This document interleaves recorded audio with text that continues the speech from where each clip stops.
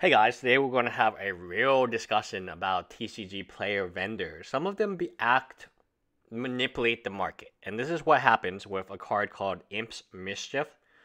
This card is not good in my opinion. It's barely playable, but hey, it's from a set Planar Chaos that was from a long time ago, and it hasn't been reprinted since that time.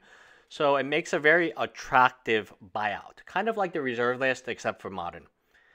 Now, what happens is this particular vendor, and yes, I will call out the vendor. I'll show you a screenshot, and you can probably figure out who is. Hint, hint, he has 60 of them at $12 a piece.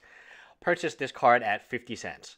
Uh, the card was about 50 cents, and then it recently spiked, as you can see from the end of the chart.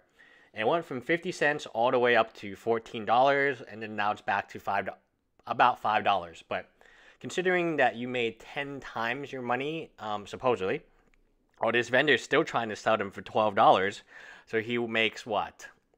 Fifty times two hundred twenty-four hundred percent of his money is what he's trying to make.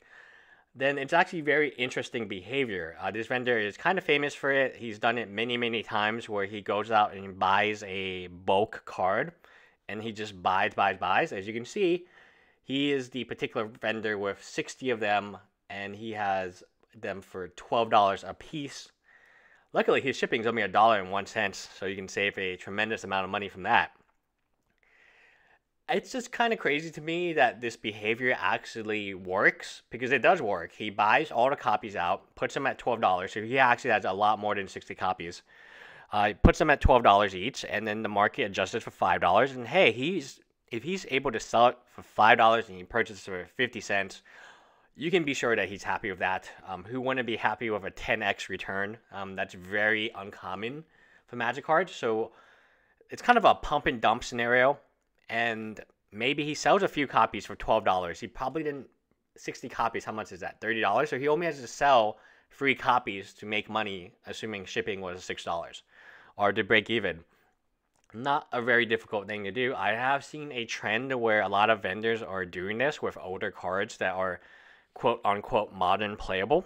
And yeah, it sucks because a card that is 50 cents is now $5. And this is what happens with um, a unregulated market. Uh, you have people who do this, and it does work uh, more times than not. Because, hey, if that dude has it for $12, maybe I can get rid of a copy for 5 Yeah, I'll post it for $5 because it used to be bulk.